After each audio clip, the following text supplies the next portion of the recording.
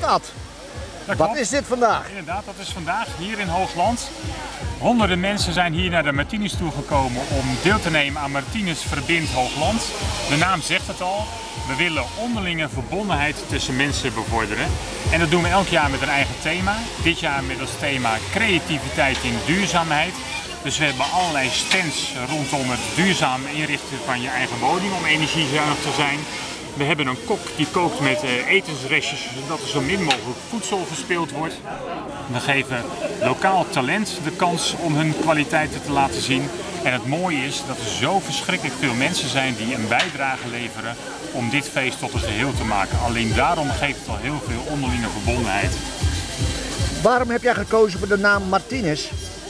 Nou, Martinus is eigenlijk onze patroonheilige hier in Hooglanderveen. En Martinus staat In symbool Hoogland bedoel je? in Hoogland.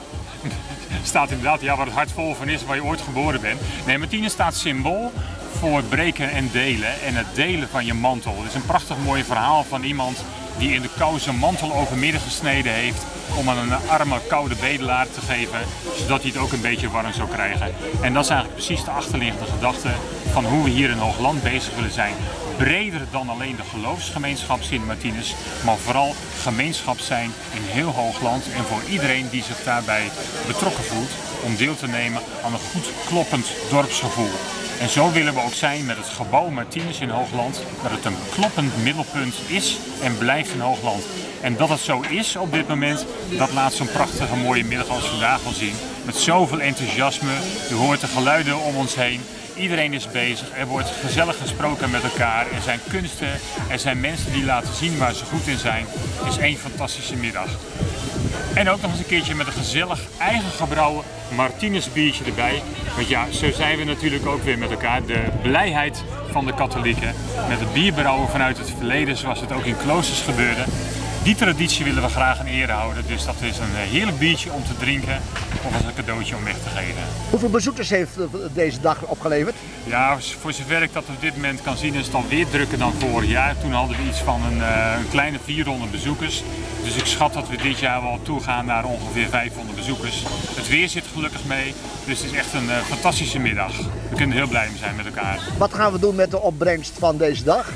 Nou, elke keer hebben we nieuwe doelen om te stellen en dit jaar willen we een bijdrage leveren aan eh, een project waarmee de stichting Vrienden van Martinus bezig is.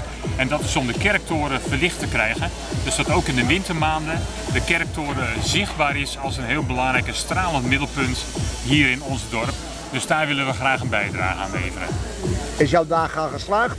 Ik heb een fantastische dag vandaag met zoveel gezelligheid, zoveel mensen om je heen en zoveel enthousiasme ook. Ik sprak toevallig nog iemand van de bloemversiergroep. Die zei van altijd is het leuk dat er zoveel mensen zijn die op dit moment ook genieten van de bloemsierkunst die wij elke week weer verzorgen in de Martinus. En dat het nu dus ook zoveel mensen zijn die dat een keertje zien, die we niet elke week in de kerk zien.